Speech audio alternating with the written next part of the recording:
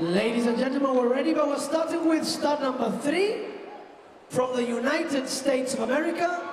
Please welcome Hey Pachuco.